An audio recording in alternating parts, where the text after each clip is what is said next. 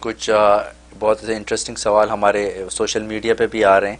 یہ ایک امبر ہیں کینیڈا سے یہ سوال کر رہی ہیں کہ آج سے کئی سال پہلے سر سید احمد خان صاحب نے یہ بات کہی تھی کہ انگلش سیکھیں تاکہ اپنا موقف جو ہے باہر کی دنیا میں آپ سمجھا سکیں۔ No English means no life اور آج عمران خان نے یہ بات ثابت کر دی کہ بغیر انگلش کے انہوں یہ بات آج دنیا بھر کے لوگوں کو نہ سمجھا سکتے لیکن اس وقت کے علماء نے ان پر کفر کے فتوے لگا دی کہ یہ تو کافر ہے اور ان کی اس بات کو اہم تجویز کو جو انہوں نے ضائع کر دیا۔ تو اس کے بارے میں آپ کیا فرماتے ہیں؟ بکیا ویڈیو دیکھنے سے پہلے ویڈیو کو لائک کریں رحم ٹی وی چینل کو سبسکرائب کریں اور بیل آئیکن پر کلک کریں۔ شکریہ۔ اچھا پوائنٹ آپ نے اٹھایا۔ اچھا سوال ہے لیکن اصل میں حقائق سے لا علمی کی وجہ سے آپ کو یہ سوال پیدا ہوا۔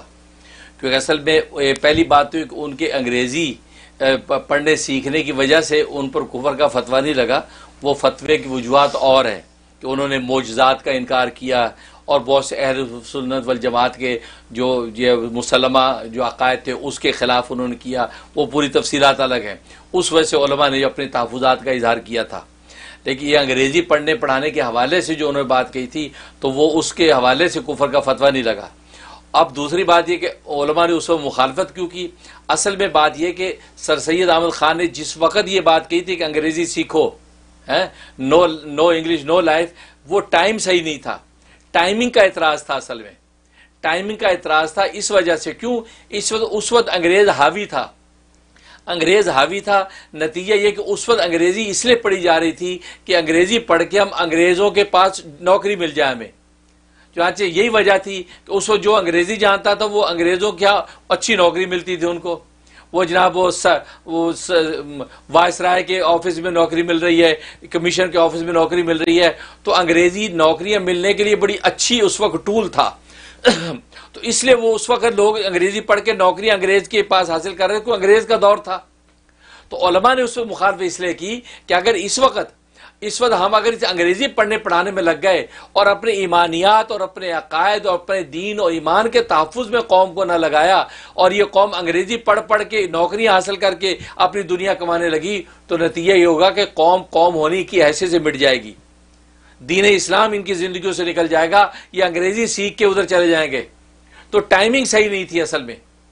جیسے چھوٹی سی مثال دیتا ہوں کہ نبی کریم صلی اللہ علیہ وسلم نے جب دیکھا کہ مکہ کے اندر جو ہے، دیکھا کہ یہ، صحابہ جو ہیں، وہ، اور عام طور پہ وہاں کا معاشرہ جو ہے، وہ کتوں کے ساتھ بہت محبت کرتا ہے۔ کتے رکھے جا رہے ہیں، کتوں کے ساتھ ایک تعلق ہے، معاملہ ہے۔ مدینے کے اندر ہے وہاں بھی اسی طرح کا معاملہ تھا۔ تو نبی کریم صلی اللہ علیہ وسلم نے صحابہ کرام کے اندر کتے کی نفرت پیدا کرنے کے لیے فرما دیا، جہاں کتا ملے اس کو قتل کرو۔ کتا قتل کرو۔ مقصد کیا تھا کہ کتے کے ساتھ جو ان کی آپس کے جو ایک ملازم، ایک وہ ملازمت تھی، وہ ختم ہو جائے۔ لہٰذا صحابہ کرام کتا جہاں ملتے، اس کو پتھر مارتے تاکہ کتے بھاگیں۔ تو یہ، تو ایک عرصے تک آپ نے یہ تربیت کی کہ کتوں کے حوالے سے ایک نفرت سی پیدا ہوئی۔ اس کے بعد نبی کریم صلی اللہ علیہ وسلم نے دیکھا کہ صحابہ کرام میں کتوں کے حوالے سے دوری پیدا ہو گئی ہے۔ اب آپ نے فرمایا کہ بھئی صرف کالا کتا جو ہے، یہ شیطان ہوتا ہے، کالے کتے کو مارو، باقی چھوڑ دو۔ اب ذرا تھوڑا سا ریلیف دے دیا۔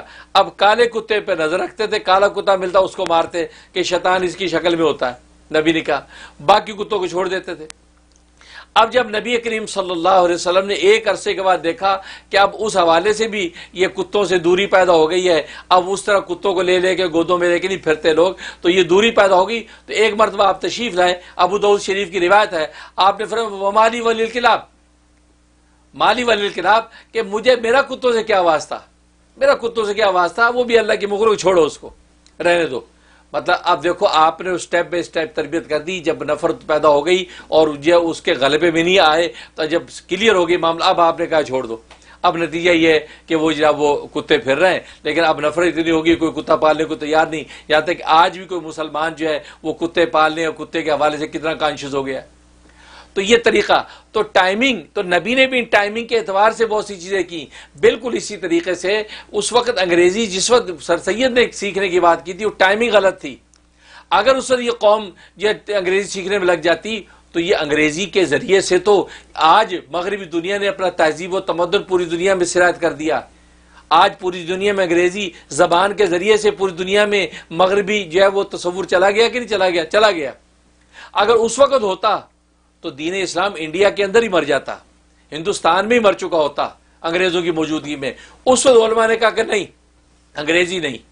ہم نبی کی زبان، عربی زبان، عربی سیکھیں گے، عربی پڑھیں گے، دین پڑھیں گے، ایمان پڑھیں گے، قلعہ بنائیں گے اسلام۔ لہذا سر سید احمد خان نے علی گڑھ یونیورسٹی بنائی، تو ادھر علماء اکرام نے دارالعلوم دیوبند بنایا۔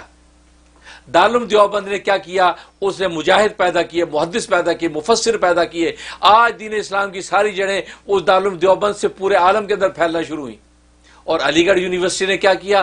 علی گڑھ یونیورسٹی سے وہ انگریزی پڑھے لکھے، وہ صرف سرکاری دفتروں کے ملازم پیدا ہوئے۔ آج بھی سرکاری دفتروں کے ملازم علی گڑھ سے پیدا ہوئے ہیں۔ کون سا کوئی نامور بندہ پیدا ہوا؟ وہ پیدا ہوئے۔ نتیجے یہاں تک کہ علی گڑھ یونیورسٹی میں دارالعلوم دیوبند سے حضرت شیخ الند مولانا محمود حسن علی گڑھ یونیورسٹی میں جا کے انہوں نے جب تقریر کی اور ان کو بتایا کہ انگریز کے خلاف کھڑے ہو جاؤ، ملک کی آزادی چاہیے۔ تو مولانا محمد علی جوہر اور مولانا شوکت علی، یہ دونوں وہاں سے، دونوں بھائی وہاں سے ملے۔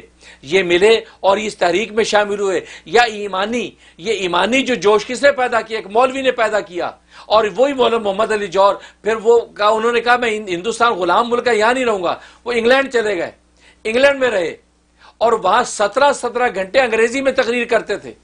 سترہ سترہ گھنٹے۔ دیکھو، ان کی انگریزی پالش ہوئی ایمانیات کے اوپر۔ اب ایمانیات کے ذریعے انہوں نے وہاں پر جو ہے سترہ سترہ تقریر کر کے اسلام اور پیغمبر اسلام کا دفاع کیا اور اللہ تعالیٰ نے پھر ان کو بیت المقدس کے اندر ان کی قبر بنی۔ اللہ ان کو ایسا قبول کیا، ان کی قبر بیت المقدس میں بنی۔ لیکن کام مولوی نے کیا، اس لیے انہوں ایمان اور عقائد سنبھالے۔ ان کے علاوہ کون پیدا ہوا؟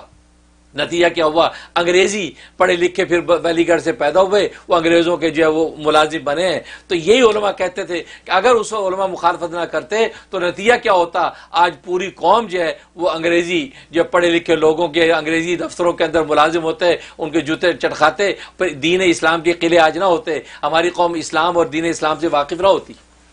اس لیے علماء نے اس وقت مخالفت کی تھی، ورنہ مخالفت کرنے کا جواز بنتا اس لیے نہیں ہے کہ نبی نے خود دوسری زبانیں سکھانے کا حکم دیا۔ حضرت زید ابن حرسہ جو ہے، حضرت زید ابن ثابت، زید ابن ثابت کو آپ، نبی پاک صلی اللہ علیہ وسلم نے خود جو عبرانی زبان سیکھنے کا کہا۔ خود آپ نے جو ہے وہ دوسری زبانیں سیکھنے کا کہا اور انہوں نے سیکھی۔ تو علماء ان حدیثوں کو جانتے ہیں، لیکن سر سید کی ٹائمنگ صحیح نہیں تھی۔ این اس وقت جب انگریز ہمارے اوپر جو حاوی تھا، حکمران تھا، اسی وقت آپ اس کی زبان سیکھ کر اس کے تمدن میں داخل ہو جاتے، تو پھر آپ کے قلعہ اسلام نہ بنتے۔ پھر ہندوستان جو ہے، وہ انگریز کی آماج گاہ ہوتا، پھر آزادی ہند کی تاریخ نہ اٹھتی اور شیخ الند جیسے پیدا نہ ہوتے۔ وہ جب پیدا ہوئے، تو ہندوستان آزاد ہوا اور اسلام کے قلعے کھڑے ہوئے، اسلام کا پرچہ بلند ہوا۔ بہت خوبصورت ماشاءاللہ۔ پوری آپ نے ہسٹری بیان کی ٹائمنگ وزڈم اور اس کی ہر چیز کے پیچھے کیا راز تھا۔